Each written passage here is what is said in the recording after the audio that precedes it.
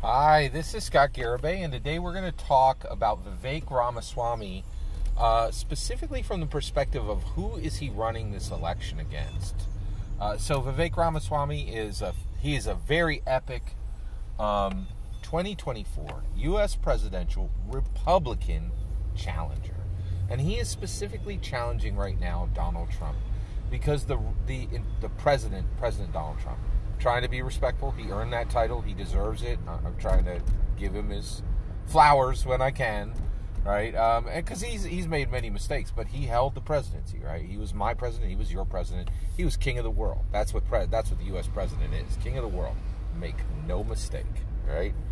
Um, and we don't we've never seen a queen of the world because a, um, a woman has never reached that height yet, right? Nikki Haley's trying to change that. She interesting lady. Um, but I think Vivek Ramaswamy is is the real deal. I think he can take it all the way, right? But right now, we need to talk about this because there's there's two there's two possibilities that uh, he has to 100% lock in. Uh, there's two races, okay? There's the um, there's there's the dropout. There's the Trump race and there's the dropout race. If Donald Trump is alive and running right? Actually, if he is simply running, right, when we reach uh, November of 2024, uh, it's a whole different, you know. It, it, it, oh, yeah. If Donald Trump is running as a U.S. presidential uh, candidate in November of 2024, every single person who's running against them has a one, uh, actually, these people specifically DeSantis, Tim Scott, Nikki Haley, Vivek Ramaswamy, that's it.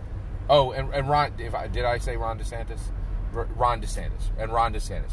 Those five people have a one to five percent chance of beating Donald Trump if he's actually running in 2024. Now, in order to run, okay, he needs to he needs to overcome a few things. The first thing he needs to do is he needs to be alive, right? And there is a very real threat to that, and that is his age, right?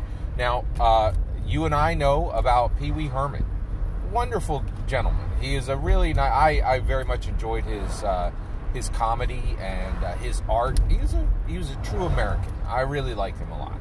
He died at 70 this this week, and the reality is, Pee Wee Herman is a perfect example of Donald Trump and when a person would die from age. Right? They had the same life. Okay, they had the same habits, in my opinion. Right? there are certain habits which will lower your probability of, of living to a ripe, uh, a ripe old age. I'm, I'm incredibly blessed. I, I, go to an evangelical church routinely. We see uh, uh, parishioners, right, congregants who reach 80, 90, 100 years old. But that's clean living, baby. And I can tell you right now, uh, Don, President Donald Trump cannot spell clean living, right? He had exactly the habits of um, of Pee Wee Herman. And what were Pee Wee Herman's habits? Hollywood habits, right? Now, the reality is Donald Trump's were slightly different. He had New York billionaire habits, but those are functionally the same as Hollywood habits, right? And so, you know, so basically, Pee Wee Herman died at 70, right? And he died from the, the life choices he made at, and you can't say a ripe old age, at an average age, right? But the reality is, Donald Trump is in a different situation, right? He is in a situation where he is going into immense stress, right? So, one, we already know that running for president can give you a heart attack. How do we know that? Because it's on the record. Because because uh, Bernie Sanders said it flat out. He was like, I was under intense pressure. I was running like you know I was running like a chicken with its head cut off, and I wasn't watching my body, and I paid the price, right? And and he said flat out, right, that the presidential uh, race gave him a heart attack, right? Now the reality is he Bernie Sanders actually Donald Trump has President Donald Trump has the same issue uh, Bernie Sanders does. Uh, slightly different, right? So what? So one, the pressures of the the pressures of running are real. You've got to be up and at them. You've got to constantly be making calls to donors. You got to be traveling all the time. You have to be eating travel food, right? It's it's hard. It's very you know you have to give speeches, you have to remember. That is an incredible amount of strain on an 80 year old person, right? And that's exactly what Donald Trump will be. He will be another 80 year old president, right? And so this is, you know, this this is a huge amount of strain on an octogenarian, right? And it could literally, it could kill him, right? Like now the reality is, I really think he should pull out of the race for the sake of his family, so that his family can be with him, so they can show him love and kindness, right? And he can live a life of love and kindness, right? Uh, 80 is in a retirement age, and he should retire, right? Like it's it's that simple, right?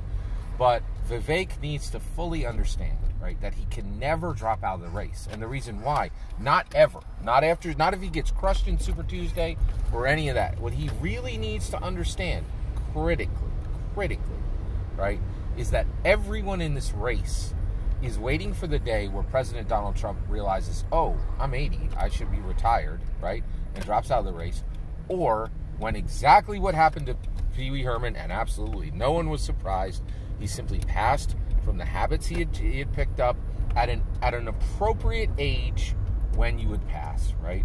And so there's a very distinct possibility that what we saw with Bernie Bernie uh, Bernie Sanders will 100% happen with Donald Trump, and it will and this run could break him, right? Like it just literally put him out of the race because he's not present on Earth to continue to run, right? Not in not in uh, body, mind, and spirit.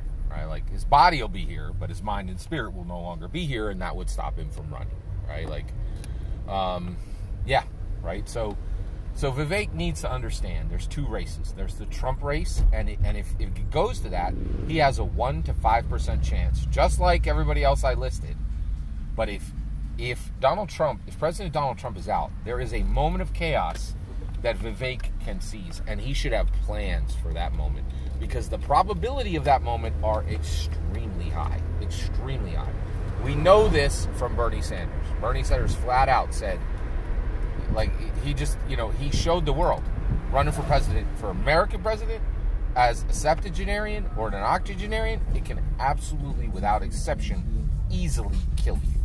Right? Like so that that's a very real thing every single word. That's my humble opinion. What's important is when I get to hear yours.